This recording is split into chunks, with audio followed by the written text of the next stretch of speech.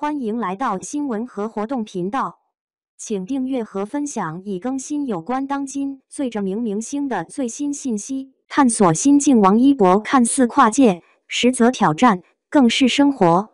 猜猜王一博在准备和拍摄新节目的过程中考了几个资格证？但至少有潜水证、攀岩证。目前没有官宣，但他确定多了一个新的身份，便是节目发起人。想看王一博是怎样在艰苦的环境下生存？纪录片探索心境将会给我们的答案。这不是一般的纪录片，而是以王一博为主角，与各位极限挑战专家们一起亲近大自然，挑战身体极限的纪录片。因为这个片子让年轻的一博发现自己更多的可能性，他也希望此片能激发更多年轻人的探索精神。一件事只要想就去做。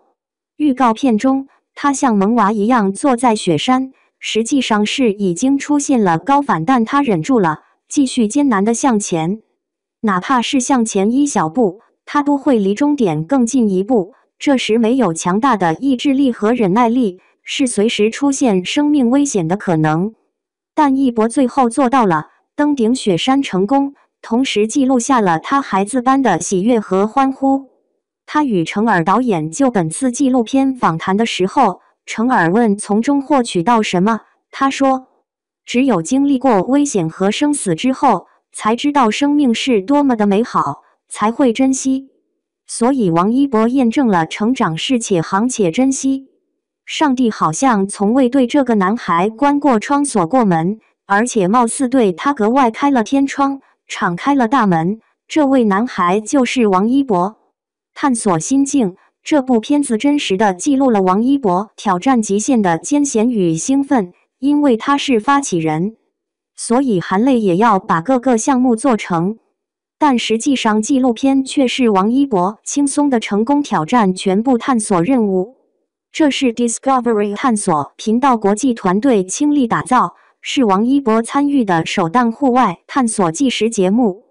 该片讲述了王一博跟随六位 Discovery 中国探索家，分别前往六个极致地理目的地：雪山、沙漠、海岛、热带雨林、溶洞等，开启深入极境的户外探索之旅。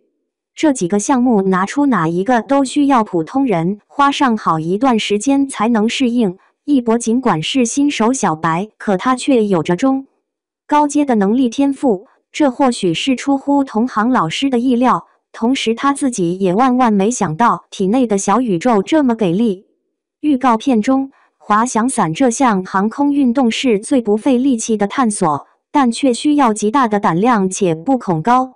亚洲有十多万爱好者，中国有证的人数破万，一博也是万里挑一的帅气小哥哥。